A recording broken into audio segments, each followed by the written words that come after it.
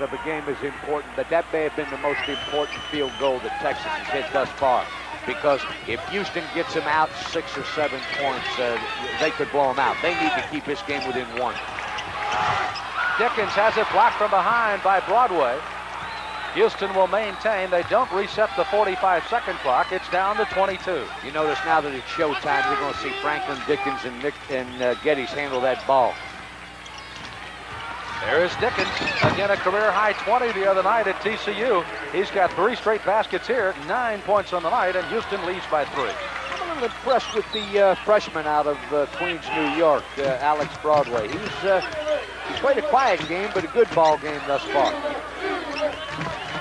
Brownlee, the leading scorer, number 55 for Texas, has 18 already tonight. He's going to have to hit that shot. Winslow tries to get the break going for Houston, and they've got the numbers.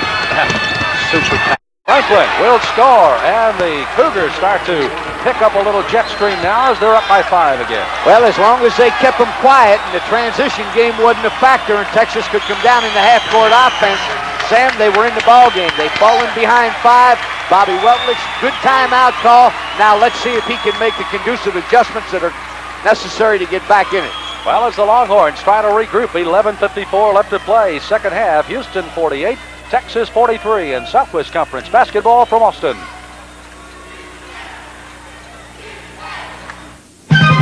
Wednesday, tip off a super season doubleheader. ACC rivals North Carolina and Maryland collide in heavy traffic under the boards live. The Big Ten goes to the line next. Wisconsin's Badgers look to keep sharpshooting Curtis Wilson and Ohio State at bay in a key matchup. Then Miami's big man runs wild. Larry Csonka pulls a lot of freight in Super Bowl VII, where the Dolphins take the Redskins to task. It's all here Wednesday on ESPN. Aha. There's a thief in this attic. This skimpy amount of insulation can rob you blind on your fuel bill. Fight back with the attic blanket from Owens Corning. It's the thickest, most powerful roll of thermal protection you can have. It can help you save money on your fuel bills. It's an open and shut case. Owens Corning. Our building products put your house in the pink. College basketball continues on ESPN, and it may not be all the Pearl Washington show when Syracuse plays host to Boston College. Boston College, a two-point loser in overtime to number one Georgetown, will go up against Syracuse Tuesday night at 8 p.m. If that's not enough, that's part of the first of the doubleheader, as Clemson will go against Georgia Tech. Georgia Tech upset, but they'll be ready to rebound against Clemson, and that too will follow that exciting Boston College-Syracuse game again Tuesday here on ESPN. Well, Sam, the unbeaten list has dwindled to two with Georgetown, and uh, the Duke Blue Devils were extended today, too, in uh, Charlottesville, Virginia. Well, they finally prevailed 63-58 over Virginia. Again, Georgetown in overtime over Boston College, 82-80. Wow. Wacker inside is fouled. The basket will count. Wacker with eight points in the half, 14 for the game. Gettys will pick up the personal foul. That's his first. And Wacker will go to the line trying to complete a three-point play. The mere presence of Mike Wacker and the second effort that he exemplifies are unbelievable. Took the jumper from the corner, followed it, got into position, and has a chance to complete three and cut the lead to two. Wacker's foul shot is good. Texas once again down by a deuce, 48 to 46. I'll tell you, SMU squeaked by today too, didn't it? 63-60 overtime over Arkansas, a couple of the highly rated teams out of the Southwest Conference. You see the shooting now in the second half of Houston picking up in Texas on the way down a bit. Well, I know this. The last time Steve uh, put the graphic up, Houston was shooting 16% for the half. They're up to 58, so they're improving. I think they're getting it down close, even though they're shooting outside. Oh, that's going to be Franklin's basket. 14 points by Alvin Franklin, 50-46 Houston. Now you know what we mean when we say an exceptional athlete. Alvin Franklin at 6'2 is in there tipping over John Brownlee and Mike Wacker at 6'9 and 6'10. So that's a pretty good talent. You may remember Franklin got 21 a year ago and tried to keep the Cougars in the game, but it was not enough as the Hoyas won the title. Take a look at the uh, matchup zone of the uh, Houston Cougars. Brownlee misses. Gettys with the rebound. Look at Dickens turn on the afterburner and scores on a nice, nice off shot. Well, again, you hate to say it with 10 minutes to go and only a six-point lead, but the Cougars sense it. They know they've got him on the ropes because since they've dropped back in that matchup zone, their shot selection has not been real good. Consequently, they've jumped out to a six-point lead. Texas operating side, as you see, with Willock, number 14. Harriman, who had a good first half, as he got a total of six, but has scored only two. Make that eight in the first half, two here in the second. They're forcing it now, Sam. That's why they've got to hit that perimeter jump shot at the top of the key. But the Cougars have neutralized them a little bit in that matchup by putting Reid Gettys at 6'7 there with a good arm span to take away that quick jumper. George Davis, number 11 from Fort Worth Paschal, will get ready to check in defensively for Texas here in a moment. Out of the corner, Franklin Gettys operates outside. Look at the hands of Anderson. Great pass. Beautiful opposite side hook, but it's followed up and in by Winslow. As he puts it down, he's got only eight tonight. But it's 54-46. Houston elongates the lead to eight again.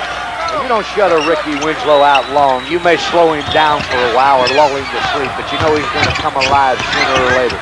Another steal in the 14th turnover by Texas. As Houston now threatens to take it back up to 10. They led 29-19 earlier in the first half for their biggest lead of 10 points. There's where a Kenny Smith from North Carolina and or the good point guard uh, comes in handy. Uh, Texas was close, and uh, all of a sudden now they're down eight because they've come down and made some uh, mistakes that an experienced ball club should not be making. Gettys at the point lead. Houston again.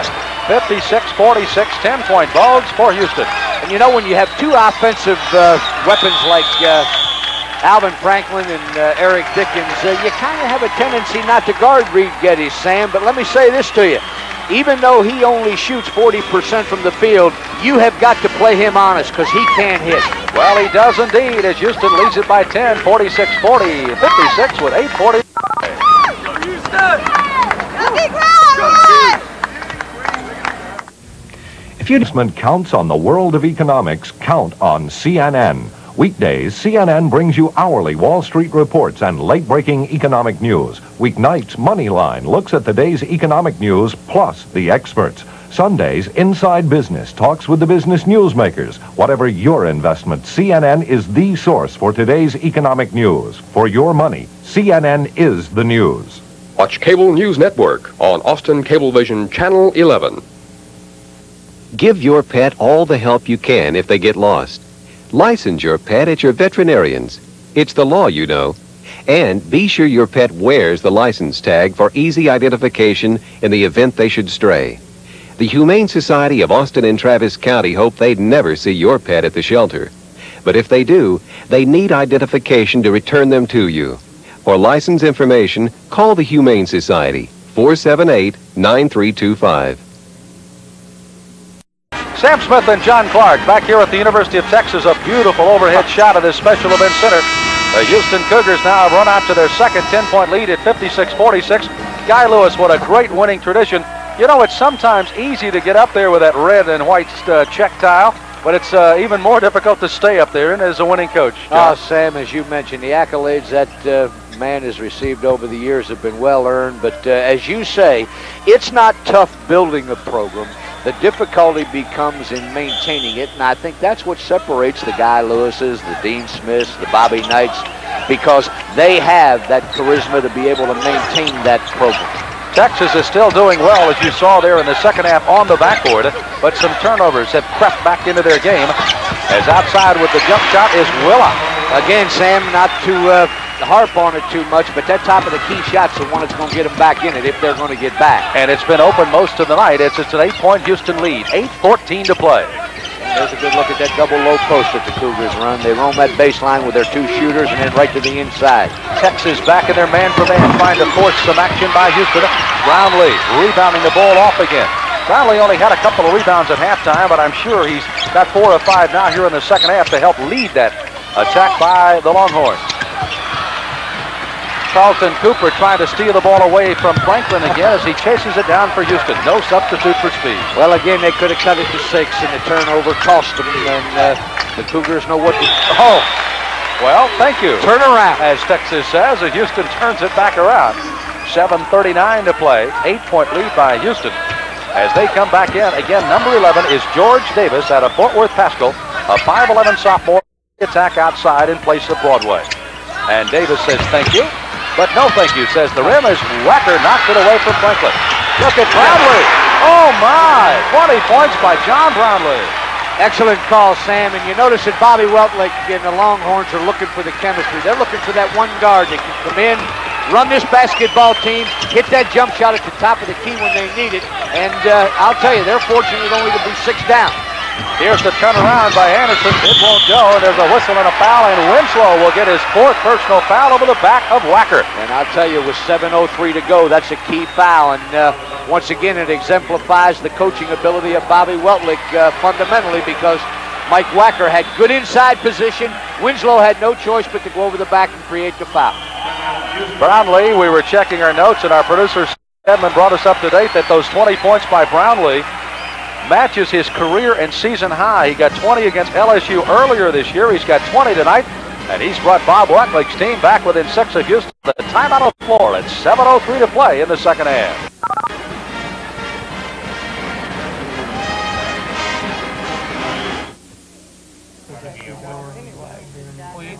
Amidst growing economic turbulence, many people feel that unemployment is our greatest national concern. But at the Texas Employment Commission, that has always been our greatest concern. We assist workers and employers with job placement, recruitment, testing, and unemployment needs, and we never charge a fee. If you're looking for a job or a worker, contact the Texas Employment Commission, your job service of Texas. We cover the world of business. We're the Financial News Network. From Wall Street to the West, FNN means business news, stock news, and commodities. We'll bring you interviews from leading experts in business and finance, and we feature both the New York and American Stock Exchange ticker tapes. FNN, for those wanting to know the who, what, when, where, and why, tune to FNN, Monday through Friday.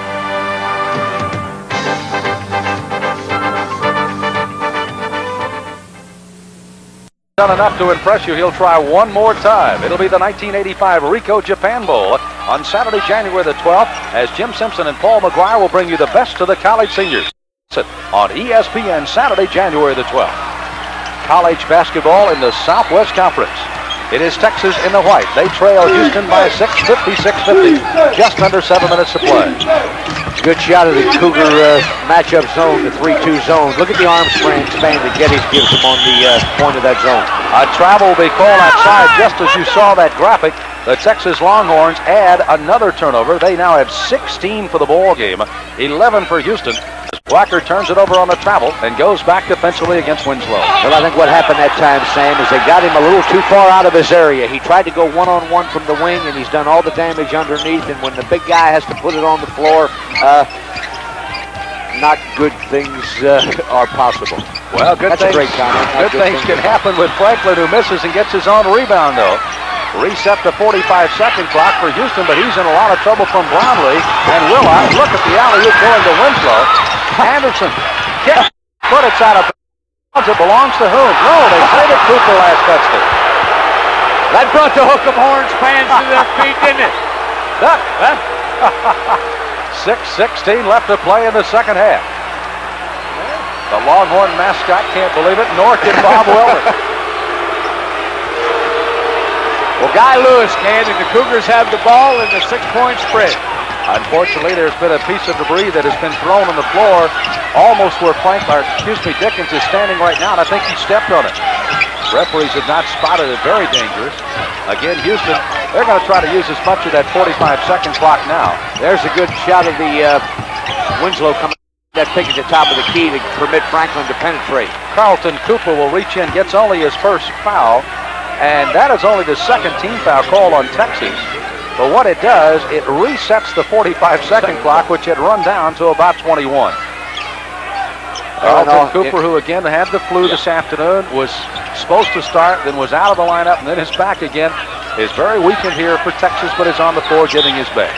Well, again, it's little things that uh, win ball games for you. Uh, sickness can hurt you as much as a bad performance, so uh, the chemistry's got to be right. Everything's got to fall in place should have come into effect. Houston has all four of their timeouts left. Texas has but two. They have used two up here in the half. 5.34 left to play and a six-point Houston lead. 45-second clock at 24. Well, I said they play uh, two different ways. On the road, they play a little bit more conservative, and at home, uh, they don't hold it that much. They just, uh, like Andrew Carnegie, they fake left, fake right, and go right at you. and try to impress you as they do here with Franklin. Excuse me, Dillon. No, it is Franklin. Excuse me. Cooper. Oh, he just throws it wildly away right to Dickens. What a terrible turnover for Texas at a horrible time. Boy, was it ever, because uh, that could have got him within uh, four. Dickens is fouled by George Davis. Davis with his first foul. Third team foul on Texas. Going uh, to the hoop. That time was Little E, Eric Dickens, as you take a good look at George Davis there. They rule the foul came out on the floor, or is he going to shoot? No, it's out on the floor. Again, on the third team foul on Texas, no shots for Houston. Let's see if they do what I said in the first half. Uh, they're as good as anybody in the country taking it out and scoring. Winslow powering inside. Cooper comes from the outside the block, but Anderson cleans it up. How about that? We got lucky one time on the call. 58-50. Houston's lead is up to eight again. 4.46 to play. Well, and they're packing it in now. They, they know they're on the ropes. They're going to look for the rebound and the transition. Davis with an air ball. It's out of bounds, and that's unfortunate for the Longhorns as the Cougars, as John pointed out, packed it down. Justin invited that shot on the outside, and it comes awry. A little surprised that they don't have uh, Carl Willock at the top. Average is 11 points a game. He's the first guy that Bobby Weltlich recruited here in the Longhorn program. He's a seasoned player and uh, seems to be like the most confident of the guards, Sam. I don't know what you would think, but uh, that'd be my choice to shoot that jumper. Bolden is going to come off the bench for the Longhorns here in a moment as Houston works it outside. Again, Texas in their man-for-man. Willock knocks it away. Nobody ready for it, and it's picked up by Dickens. Uh, he throws to Winslow. Winslow can't handle it, and that's a dozen turnovers for the Cougars. Now Bolden will check back into the Texas lineup. 33, Carlton Cooper. Bolden did not score in the first half. The 6'4 sophomore from Killeen is Cooper. Again, under the weather, the senior out of Paris, Texas will sit down. And McKee key stat. Wow. 17 turnovers for Texas to 12 for Houston. The Longhorns, there's Bolden, gets a screen from Brownlee, doesn't take the shot. Bolden's a good shot. There's Davis. Little George from Fort Worth Paschal will put it down for his first hoop. Well, I'll tell you, he missed two at the top of the key, Sam, but he hit that one from Waco because that was way out on the wing. Apparently a personal foul will be called, and it is. It goes on Dickens. Dickens will pick up this fourth personal foul as he shoves off on George Davis to get the ball. Oh, what a nice replay from our producer Steve Stedman and our director Mark Payton here tonight. As you see Eric Dickens going to the bench for the Houston Cougars with four as a timeout has been called now by the Houston Cougars. That's their first timeout they have used up here tonight as Guy Lewis, I think, wants to get their attention here with 3.46 to play. I'll tell you, all the more reason why that was a good shot out of the guys in the truck was because, as we said, when uh, Texas hits that long shot, they immediately went into their denied defense, Sam. And what they're looking for in there is A, a bounce pass uh, to go awry and or a turnover. At that time, Dickens committed the offensive foul, and uh, there you see Bobby Weltlich. And look at the respect that club gives him. John, before we get even more hectic here, our thanks going out once again to Jay Goldberg, the Sports Information Director of the University of Houston, their head coach, Guy Lewis, and his staff, and Athletic Director Tom Ford for their help on our telecast tonight. And from the University of Texas, their Sports Information Director, Bill Little, his assistant, Doug Smith, who's in charge of basketball, DeLoss Dodds, who is their athletic director, and certainly Bob Weltlich and his staff here at the University of Texas. And I'll tell you, we're in the huddle there with uh, Guy Lewis, uh, 62 years old, and as I said, uh, Sam, one, one thing that's amazing in his dossier, he's had 28 players drafted in the NBA, but of those 28, 10 of them have been first-round picks. In the last three years, he's had three people pass up their senior year. Rob Williams, uh, Clyde Drexler, and Akeem Olajuwon. I mean, it would be frightening to think of this club with Olajuwon, how good they would be. And they say that Winslow may very well be the next one to make that decision, but so far, nothing in on that as he plays here for the Cougars as Texas works outside, trailing by six, 58-52. Davis liked that spot. He said, I found my number, folks, and he dials it in again. They just had him point. in the wrong area shooting, Sam. They should have put him out onto that sideline. It's not what you'd call a high percentage shot, I might add. Attendance here tonight, just slightly under 6,000 in this beautiful 16,000 seat arena. But they have been privileged to quite a show here tonight from the Longhorns and the Cougars. Key turnover. Willock on the break. Franklin catching up. They knock it off the rim, but scored for Willock. That's six and a half, and the Longhorns then two. Well, I tell you, it, it is a dandy, and uh, boy, I tell you, don't leave us. These 5,900 people sound like 16,000, don't they? Well, the Houston Cougars may believe that. As Guy Lewis looks on as his ball club shoots at the basket right in front of his bench here in the second half. Well, I tell you, Houston needs to take their time, get the good shot, let Franklin penetrate and or go inside. And uh, Texas, on the other hand, needs the rebound if it's off. There's the rebound by Wacker. Good defensive play by Willock. Wacker steps away from Franklin. Willock into the forecourt. Two and a half minutes to play. A two-point Houston lead, 58-56. Well, and they made a change, Sam. They, oh, no, they didn't. Here comes Willock at the top of the key. Wacker tries to get the offensive rebound.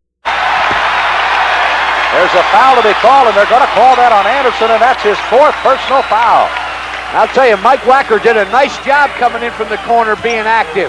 Anderson uh, tried to do the right thing by boxing him out, stepped in front of him, and consequently, the position was not his, and the official called a foul on him. Not a bad call. 15 foul on Houston. Neither ball club in any real foul trouble right now. Five team fouls on Houston, three on Texas with 2.12 to play. Again, you're allowed seven per half before the other team is allowed the shot and the penalty. Willock. Texas will try to use up a little of the time here and then try to... Brownlee's been a little quiet. He's got 20 points, but we haven't heard from him in a while. I tell you, they need to get it to uh, Carl Willock as far as I'm concerned because he's the he's the one with the experience and the seasoned players. 15 on the 45 second clock. Davis, oh, a rocket, there it goes. We're tied at 58 all. Like I said, Sam, they need to get it to Davis. Guy Lewis on the sidelines wondering where in the world did that 10-point lead go? at 56-46. Gettys will lose the ball. What a play by Bolden. Forces the turnover. Texas gets the ball back. A minute 33 to play. That goes back to the old axiom that Bobby Knight uses an awful lot where Bob Weltlich got it. You can use that pressure probably for about 38 minutes. It may not help you, but all of a sudden in the last minute and a half, the Cougars have turned the ball over twice on an offensive foul, and Reese Gettys lost it going out of bounds there, and they have a chance to take the lead. Second timeout taken by the Houston Cougars here in the half. Let's watch the steal and the eventual turnover here by Getty. Well, you won't see him do that often because uh, he's quite a ball handler and a seasoned player, but he just lost his footing, touched the ball, it went awry, and the Longhorns, as I say, for the first time in a long while, Sam with a minute and 33, uh, if they ever needed to execute, they need it now. At the top of the show, we mentioned Mike Wacker. As you look at the Houston Cougars, Wacker for Texas, he only had six at halftime. He has erupted for a total of nine points in the second half. He's got, of course, 15 for the game, but more importantly, 13 rebounds in this ball game tonight for Texas. Well, and I think one thing in Bobby Weltlich's favor is uh, building the basketball teams like building a house, Sam. The most important thing is the foundation. He suffered through two years here. And let me say this to you. Whether it be on the road or at home, the Longhorns are not going to be a pushover this year. You can book it. Texas has outscored Houston 12 to 2 as you see the time there. They were up down 56 to 46, and again it's 58, 58 all tied up here.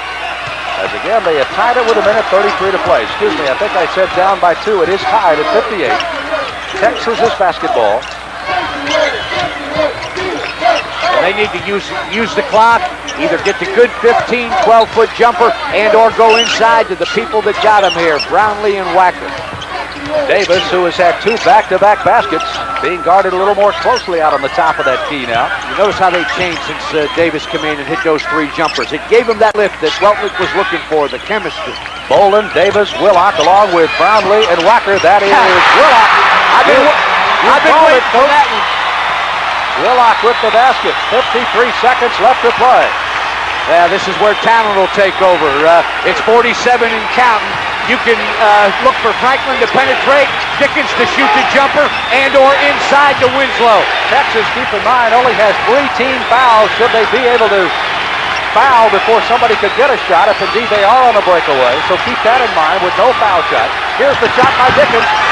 Rebound by Wacker. 26 seconds to play. And I'll tell you, they could put it away if they can handle the ball right now. We've lost our monitor a little, Sam, but uh, there's 17 seconds and counting. We're not worried about that as a foul is called on Winslow. Five fouls. Winslow fouls out of the game. Texas will not be shooting foul shots yet, however. They'll have the ball, more importantly, out of bounds with 14 seconds left to play. And at the top, we said it was a critical game for the Texas Longhorns. And uh, the experts rated it an even game coming in here. With 14 seconds left, Texas is up a deuce, and they're going uh, on the line. Is that right? No, they will not shoot foul shots, as again, it's only 16 fouls called on Houston. Okay. Now, Texas will use up their third timeout. They'll still have one left. But the Longhorns, with once again Carl Willock, the coach has been calling for it all night long, Oh. John Clark. He hit the jumper out of the corner, his eighth point of the game, but all of them in the second half. And Texas leads by two. 14 ticks of the clock left to play in Southwest Conference play. Texas with the ball. Sam in their press guide, Bobby Weltlich uh, calls Carl Willock a player that will do whatever's necessary to build the program. And uh, it's the old story. You go with the people that get you here. The whole ball game, I've kind of been waiting for him to break out of it. And what better time could he have exemplified his talent when it was tied at 58 with that key 15-foot jumper? All comes down to it's not our everything. Reach in, reach in. It's not our Guy Lewis telling his ball club it's not over yet, 60 to 58. As we again are in a dogfight here in the final 14 seconds. Now Houston has to get the ball back. They cannot afford to foul because that would put Texas at the foul line with one and a penalty. Now, let's look at Texas as far as the people on the floor and foul shooters. Willock is the best at 71. Harriman at 67. Wacker at 65. Davis has yet to shoot a foul shot this year. That might be a man they go after and foul. And another man they have on the foul is Brownlee is a 64% foul shooter. Sam, they only have two choices. They need to steal the inbounds pass and or foul immediately, and they don't have time to pick out the weak shooter. They need to foul the first person that gets that ball. Here's Wacker with the inbounded pass. Willock, that is not the man they wanted to foul. He's the best of the foul shooters, even though it's only 71. But Willock is certainly turning into quite an opportunity to be the star of this game as he comes up with the jumper and now go to the line with one and the penalty on the 17 foul call on Houston. Well, I'll tell you, uh, a couple of years back, I uh, had the opportunity to sit and one, watch one of the greatest talents in the collegiate game. Chris Mullin walked to the line and missed a one and one in a crucial situation.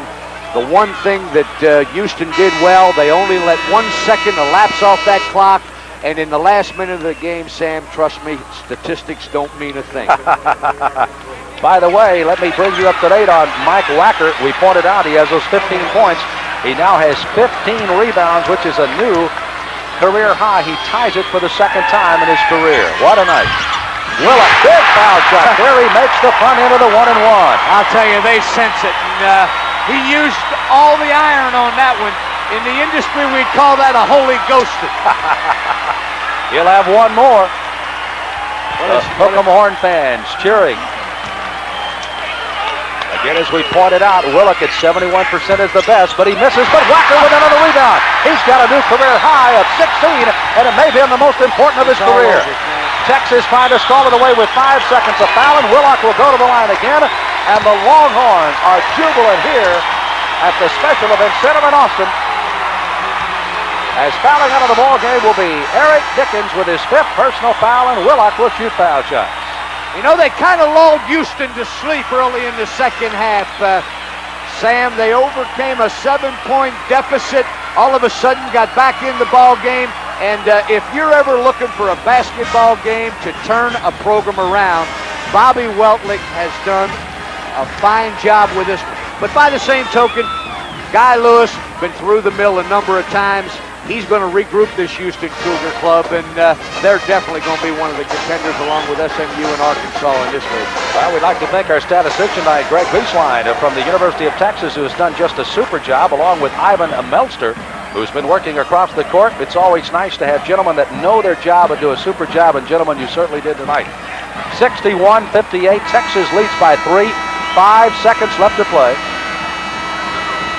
Well, I tell you, we kind of alluded to the fact that if Texas could keep it a 60 to a 50 point game, they had an opportunity to win. And uh, with five to go, uh, 61 58 uh, keeps it in that bracket. Willock could certainly just do all the damage in the world to Houston. Keep in mind, in the Southwest Conference, unlike some of the other conferences in the years gone by, there was a three point shot. No such animal here. Willock misses. Rebound comes off to Texas. That clock is stolen by Brownlee. Knocked out of bounds by Houston. It belongs to Texas. One second. This one will be in the camp of Texas. They'll go one and one in Southwest Conference play. Also one and one for Houston. Wacker will inbound it. This one is over. The Longhorns have upset the Houston Cougars tonight. That ball went in. 61-58 is the final score as the Longhorns are jubilant for Coach Bob Wilson here in Austin. Well, it has been a night, John Clark. You called it the control of Texas trying to stave off the running of the Houston Cougars, but they worked well on the backboard and the size. Wacker and Brownlee turned the trick here tonight. I'll tell you, uh, execution personified as you look at a happy Bobby Weltlich.